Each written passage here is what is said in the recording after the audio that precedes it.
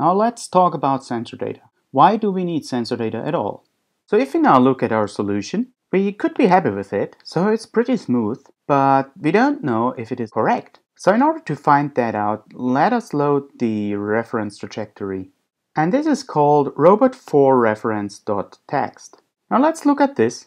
So in red, you now have the reference trajectory that was obtained from tracking the robot via the overhead camera. So let's go back to the start. Well, in the beginning, the reference point and the trajectory that you computed from the motor ticks, they are the same. That's because I have given you the start position, which I just grabbed from the reference trajectory. And as we move along, things are pretty good as long as we go straight. But then at a certain moment, we see that as the robot starts to turn, there is a deviation. It seems that the curve it takes has a too small radius, and this leads to a deviation. And this goes on, so the next curve is also too small radius. So, and as you see, everything is bent here, and after a while, our robot is in a completely wrong position. So as you remember, I have measured the width of the robot. I've given you the width of 150 millimeters. So, but it was not so quite clear where the middle of those robot tracks were. So, one thing you can do in your filter motor file exercise, you can change the robot's width. So let's change that to say 160 millimeters and then just run it. Now we can go back to our visualization and just press reload all. And as you could see right now, the trajectory moved a little bit. It's better now. So the turns it takes, they are still too narrow, but it's better. So let's try another value. Let's try, say, 173. Go back and reload. And as you see now, we are pretty good now.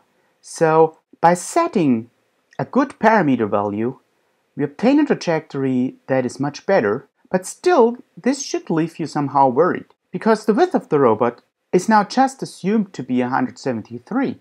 We never measured that. It just seems that this is a good value. So what we do here is actually a calibration of the values. But the problem with this is it might work now very well for our current robot and for our current ground. So, but if we use another ground, we still may be off because we will have a different slip of the robot on the ground. So we need another solution. And this will be the measurement of our landmarks by using our LiDAR.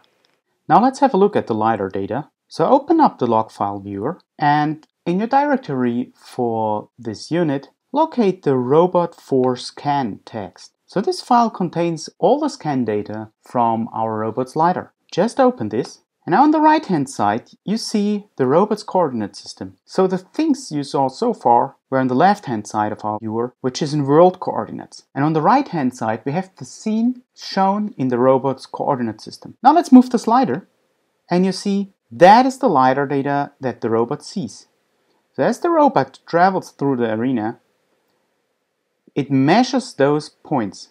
The robot moves forward and forward is his x direction. And then the scanner scans from here to here, all those beams. It's a total of 660 beams. And then behind the robot, there's a zone where it can't see anything. Now what are those spikes?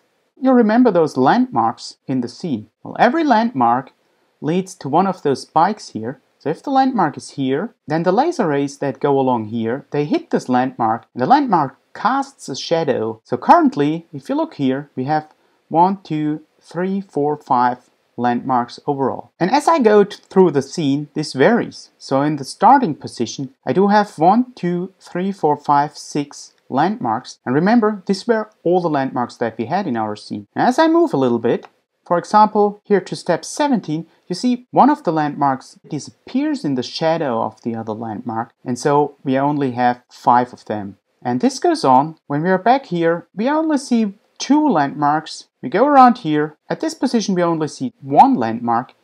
And then we go back here. Again, here's a shadowed landmark. Now it, it moves out of the shadow and so on. This is our entire scans as seen from the robot's perspective.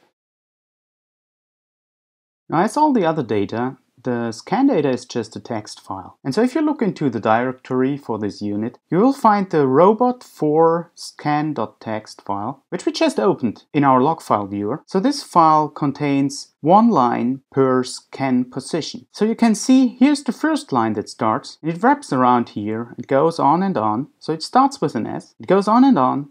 And then here's the next line. So and in between all those values are measurement values. it goes on like that and the entire file, this is our 278 scans, each one having 660 range measurements. So how is one record of one scan line stored? Well, as always, we do have a code that starts the line. In this case, it is an S for scanned data. And then there's a timestamp, 315 milliseconds. Then there's a count, meaning there's 660 values which follow now and then this is just all the values. So this is 660 entries and those values are the depth values of the scanner. Now let's plot the scan data. In the files you downloaded there's a python plot scan file and it's very short and simple. So it imports from pylab for plotting then it imports everything from lego robot then it loads the log file. In that case it loads the scan data and then it just plots the scan data. Now logfile.scandata means this is the list of all scans and so if we take the seventh scan here, we just have to index that by a 7. Now let's have a look.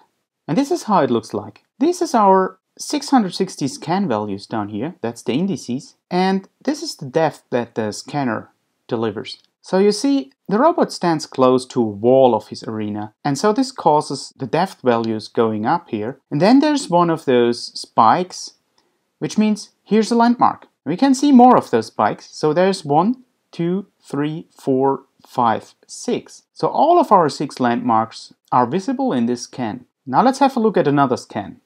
I now switch to scan number 8. Let's run it. And the outcome is this. And so since the robot didn't move very much, we still have our 1, 2, 3, 4, 5, 6 spikes, but we also have an artifact here. So if you look at that,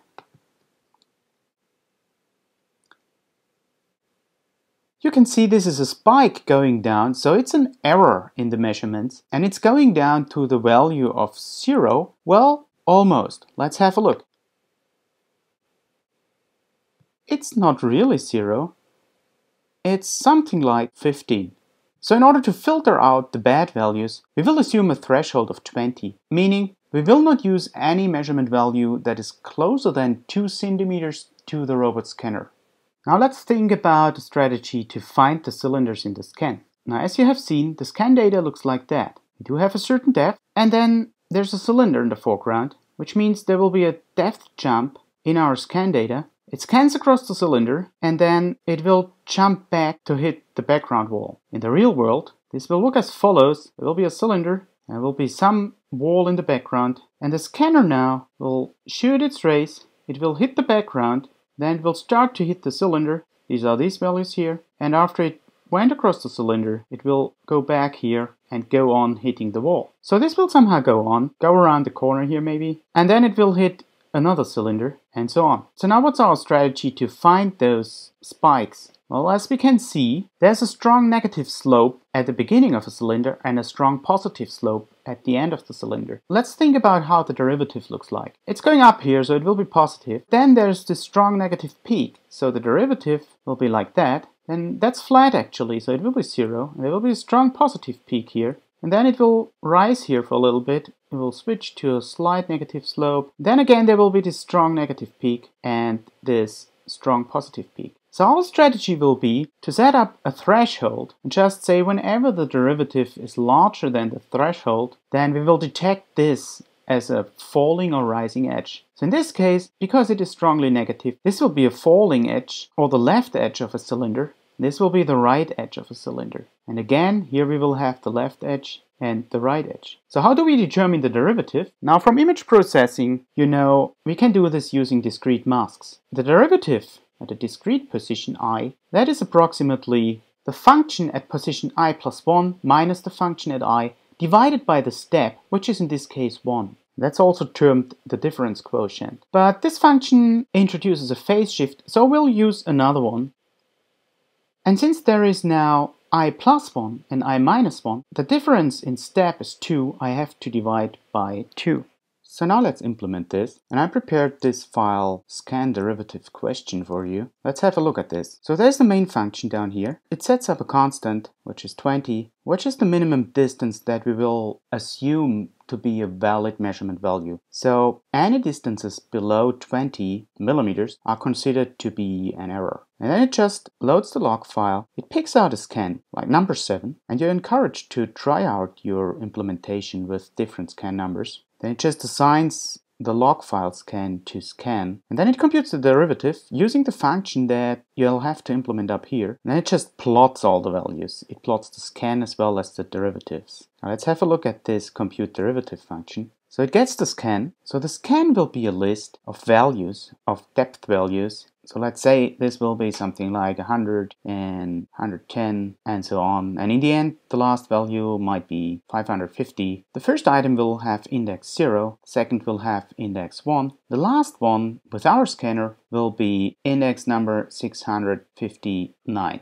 because there will be 660 scanned values overall in our scan. Remember I told you to compute the derivative using this formula. So if i is 0 Right? You will access element minus 1 and plus 1. And of course, you don't want to do that. Actually, Python will let you do that, but it will give you, for the index minus 1, this value here, assuming that the list is cyclic, and this is not what we want. So the solution here is, I start with index 1, and I run until index the length of the scan minus 1, which means the last index is actually the length of the scan minus 2. So this will be the last index that is being accessed and this will be the first index. So now since we only compute now these values here, we will have a total of 658 values in our final list, but I want the final list to have exactly the same length as the original list. So what I do here is I start by adding a zero and I append a zero in the end. And you will have to replace this